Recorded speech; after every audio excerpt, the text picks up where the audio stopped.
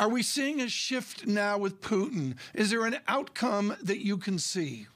Absolutely. What we're seeing that the, that process that began in the 1990s of Russia connecting with the world economy and being integrated with the world economy is very rapidly going in reverse now as these crushing sanctions are being imposed.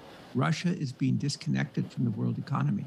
What does the new map for Vladimir Putin look like? Uh, he grossly miscalculated. Uh, I think he obviously thought this would be quick.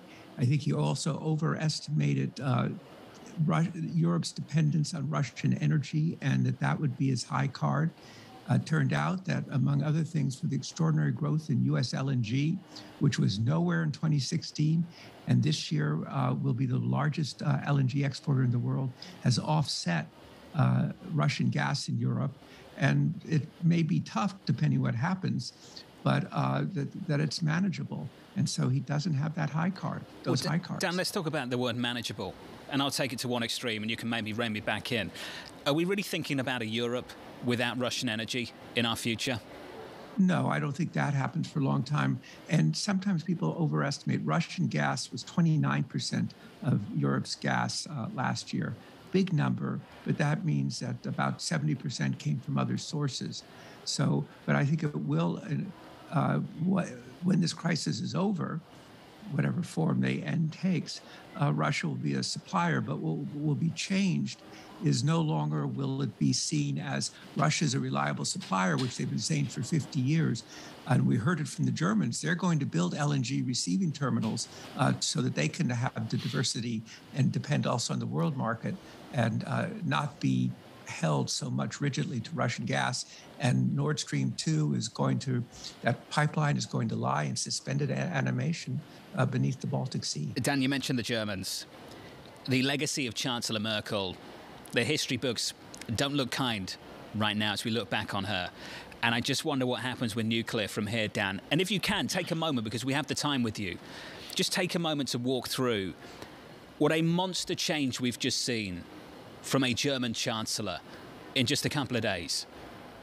Well, I think that Chancellor Merkel, it was it was a different circumstance. She had no illusions about Putin.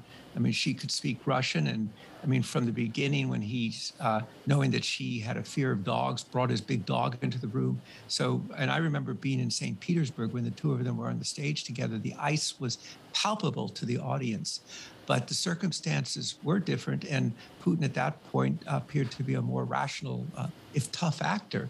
But I think now with the new chancellor, the statements, I think if she were in power, she probably would have said the same thing. But it is a dramatic reversal. And Putin, his, one of his major games was to welcome, to break NATO, to weaken NATO. He's done just the opposite. He's brought it together, and Germany is going to go to 2% of GDP for defense spending. We talk about the consequences for Russia as they get locked out of the financial system, but can you game out the financial consequences for Germany, for the United States, for the rest of Europe as we do get uh, some sort of uncertainty, not only about the carve outs for the energy sector in all of these sanctions, but just how feasible the payment for any of this will be? Well, I think that's the, the payment system. Even, you know, it's been said initially that the goal was to carve out energy so it would not hit Europe. But risk officers are not going to are, are going to be very cautious. They're going to over comply. You already see that people are not uh, doing letters of credit. Tanker owners are going to think twice before sending their tankers. So the energy trade is going to be disrupted. It's, this is not going to be a smooth thing. Uh, how bad it gets depends on how the war goes, what the Russians do, and so forth.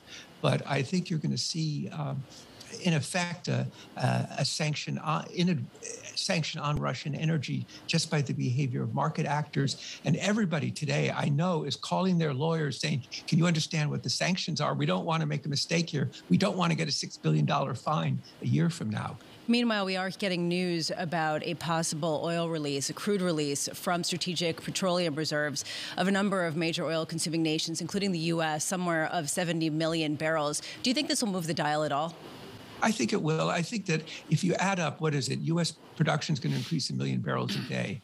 there could be more oil out of the Gulf. If their sanctions are taken off uh, Iran, you get a million barrels a day.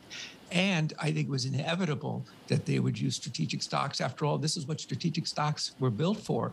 And so I know the administration certainly is wants to go in that direction. It'll be interesting to see what the Chinese do this time.